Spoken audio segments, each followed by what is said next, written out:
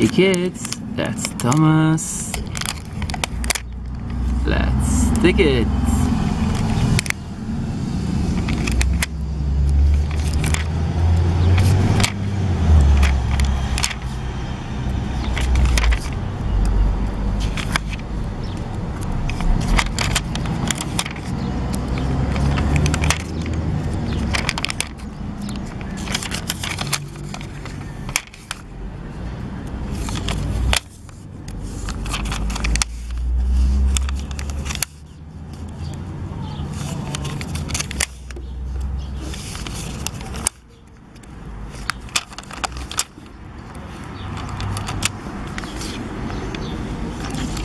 Thomas.